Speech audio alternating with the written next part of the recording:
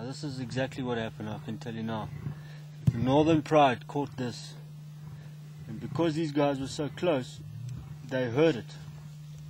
Then they rushed in and they stole the kill from them.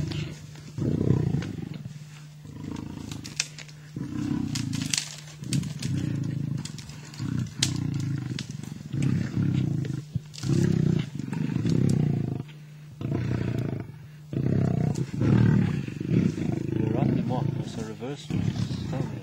Ja, mamy tam fakt.